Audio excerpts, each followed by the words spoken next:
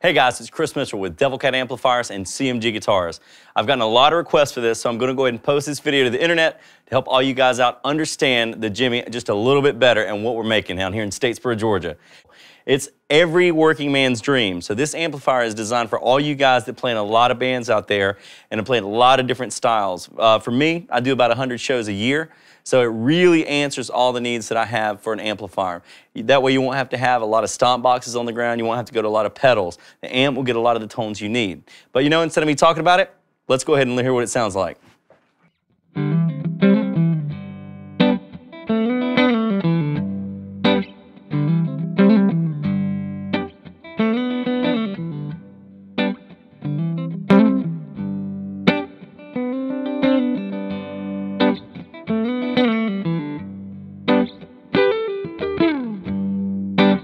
Now, a lot of guys have asked me, hey, can you put a, a Strat style guitar on there? So I am. I'm going to put our CMG Diane.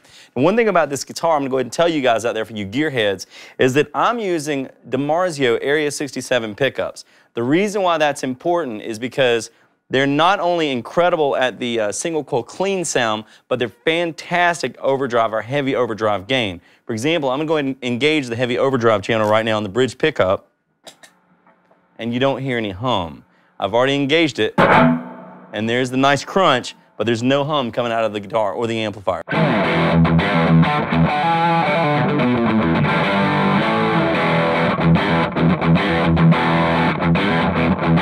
The amp just sounds great on single coil, and it sounds great on humbuckers, which you're gonna hear in just a minute. A lot of guys have asked me to play it through a single coil, and they wanna hear what it sounds like.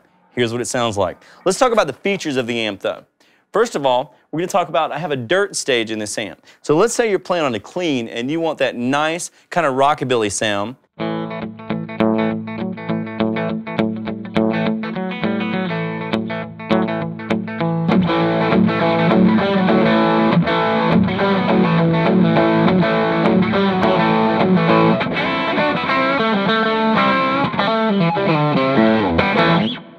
Great sound on that as well. Now let's say you're in a band and you like the kind of sound that really you're kind of a southern rock blues player and you really don't need anything too heavy. You need clean, you need dirty, and you need a little dirtier, and that's all you really need. I'm going to go ahead and show you on that. I've got the dirt on 12 o'clock, but I've got my volume set as a boost. When the volume of the dirt channel is at 12 o'clock, it retains the same volume level of the clean or whatever channel you're on. So I'm going to pull my gain down on my overdrive channel, and here's my clean on the bridge pickup. Nice clean sound. Now I want to go to my overdrive and engage that. What's going to happen, it gives you a nice, a nice rich bottomed out sound on the overdrive. It's kind of a little more jangly than the dirt because the dirt is the only part of the amp that uses a diode. Everything else is all 6L6 tube based. I've got 12 AX7s in the pre, one 12 AT7 in the um, power amp section, and of course two 6L6s. So I'm gonna go ahead and let you hear the overdrive sound as I kick it in.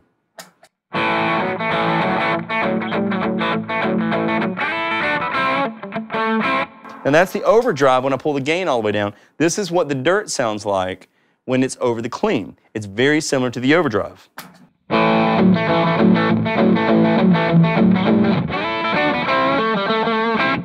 Now let's hear what it sounds like when I'm playing the overdrive, but I decide to give it that overdrive punch and boost it in. What you're gonna get is you're gonna get a saturated overdrive sound that really brings out the mids, okay? Here's your clean.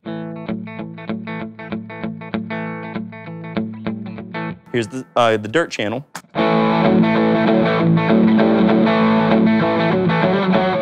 Here's the overdrive stacked.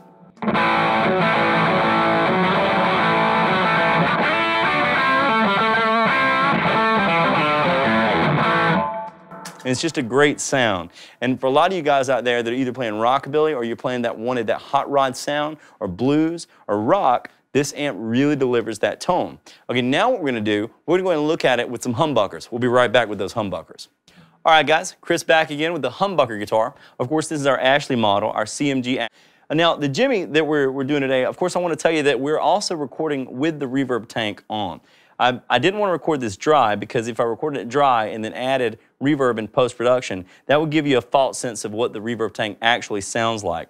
You're hearing the real reverb tank come through the microphone. And the beauty of that is, is that uh, it's not something I can alter after the fact. I really wanted you guys to hear that nice vintage reverb tank. It is spring reverb for those of you out there wondering. And also, let me tell you a little bit of the technical side of the recording for those of you guys out there that are really gearheads and want to know.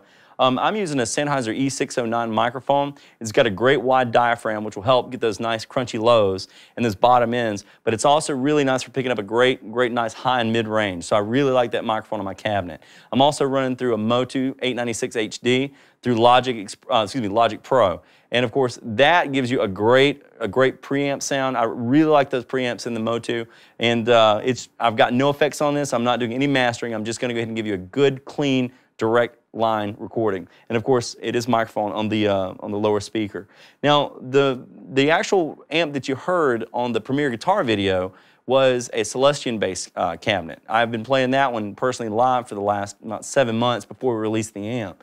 But the interesting thing is about this one is this is the 212. You got a 12 at the bottom and a 12 at top. And of course, this is using the Jensen Falcon. This is the Jensen Jet Falcon. It's a great speaker, but we consider it to have a lot more fizz. It's just got that fizz in the mid-range that kind of cuts through. So for the, the crunchier metal stuff I'm going to show you guys today, I really want to have that speaker to show you because it really does do that style of music justice. But let's go ahead and hear it on clean can hear what the humbucker sounds like.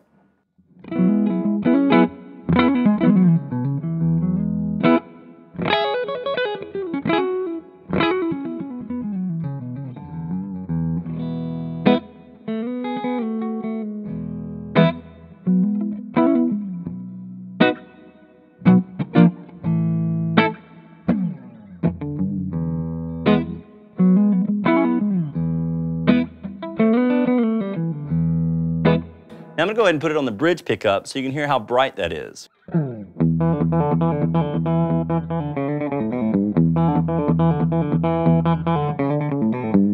It's got that nice country twang because again, we designed the front end to be just as good as the overdrive. It has a nice, nice round bottom. I think you're gonna agree. Now let's go ahead and hear what the dirt sounds like on the uh, bridge pickup on this guitar.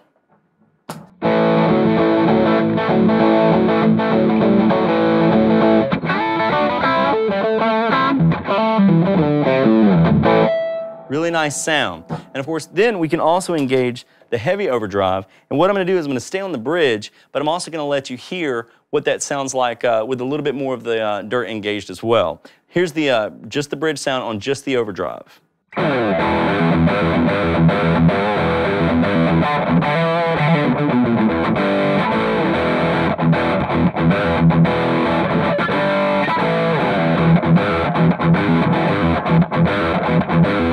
Here's a little tune that, uh, that I wrote years ago, and I'm going to show you what it sounds like with the overdrive on, and then you're going to hear the engaged and the engaged sound of the dirt channel, which is going to give you a nice saturation. And here's uh, just a little riff out there. Try that again.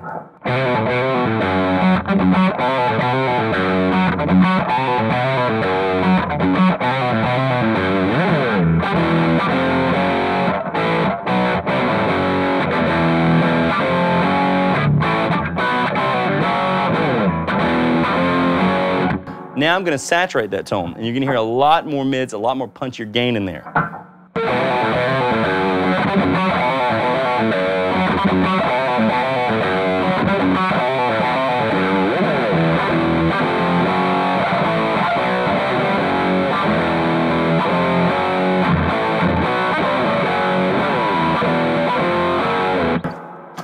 That's a nice, nice crunchy mid gain in there. Now let's let's let's have a little fun with this thing.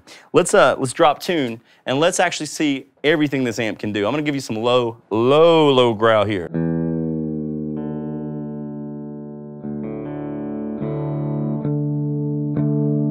All right.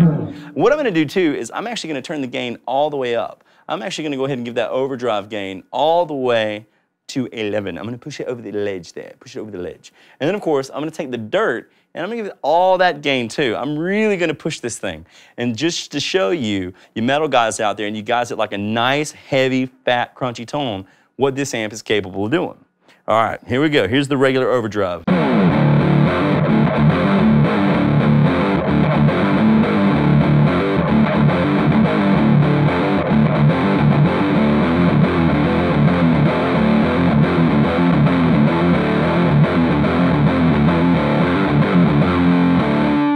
Now I'm gonna saturate that gain and let it rattle your skulls, all right? Let's see how, how this thing sounds.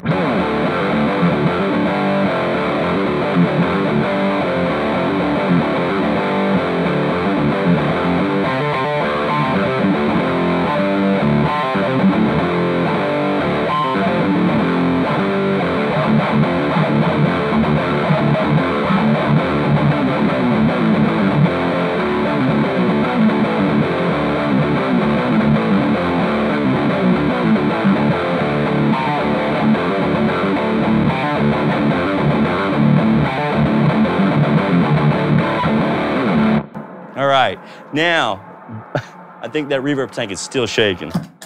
No, I, actually, that was the, uh, the high gain coming through the amp. It's, uh, a lot of people have said, you know, hey man, this amp is so quiet. How did you get it so quiet? And down the road, I'm going to show you guys how we built the chassis and how we designed it so that it lets minimal interference in this amp. Um, you can have your cell phone right on top of the amp. Of course, when it rings, it actually will not pick up in the amp, which is pretty, pretty good feat of engineering. Cost us more to make it that way, but we did it. One of the things is that we did is we're only an hour west of Savannah, right by the beach. So I do a lot of shows in Savannah. A lot of that night air coming off that water can corrode an amp that doesn't have a solid chassis.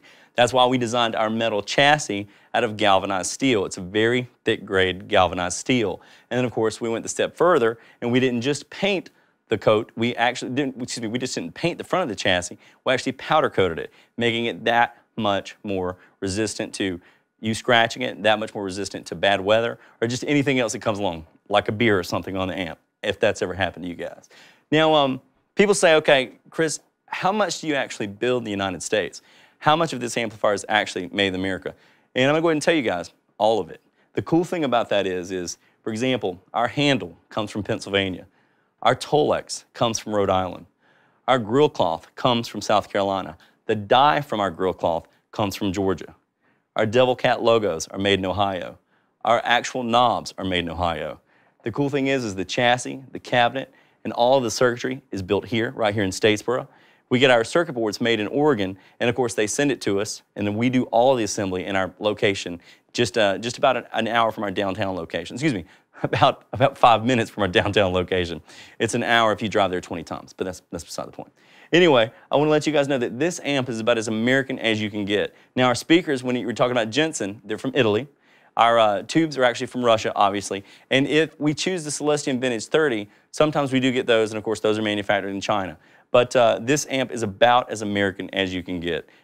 And Devil Cat amplifiers, I want you guys to check this stuff out. We're to be posting more videos soon. Check us out on YouTube. And uh, thank you. I want to give a good shout out to uh, everybody at Premier Guitar. They did a great job helping us at NAMM, and they were a pleasure to work with. So thank you so much, Premier Guitar. And thank you, everybody out there that's shown us so much support because our guitars did win Best of Show at NAMM. We're very happy about all that. So again, until next time, I'm Chris Mitchell.